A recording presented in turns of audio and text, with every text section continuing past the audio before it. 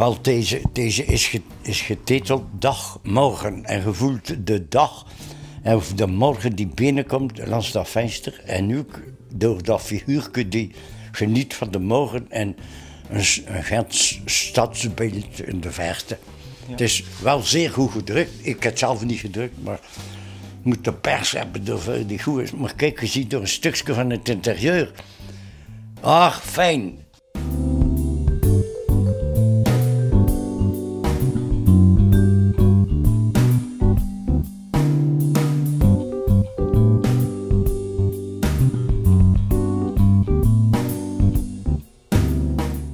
Wordt zoveel gewacht. Hè. Oh, wachten op je pensioen, wachten op de verkiezingen, wachten op van alles en nog wat. En hier zit hij te wachten.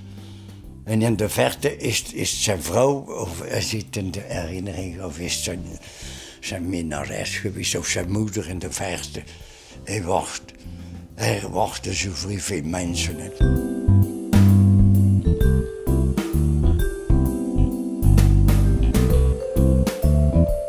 Mijn titel was bureaucratie, hè, omdat dat meer voorkomt. Hè. Kijk, ja, eh, ze, ze willen allemaal naar de top. En het paraplu-systeem onder andere is erbij. Het slakkenhangetje hè, van de administratie, ze zullen wel geraken. Hè. Hier zit je een vrij lange armen. Hè. er komen ook veel maskers tevoorschijn. Hè bij die bureaucratie. Eindeloze papieren en paparazzerijen enzovoort enzovoort. Kijk hier, eh, ze- de- deze die bijna de top bereiken worden er afgesleurd door, ja.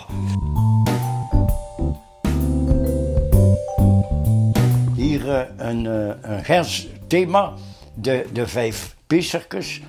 Maar het noemt eigenlijk Monument der Geknielden. Dat is tussen Belfort en, en, en Sint-Bavse. En eh, eh, de, de fontein van uh, Georges Minne, Beeldhouwer.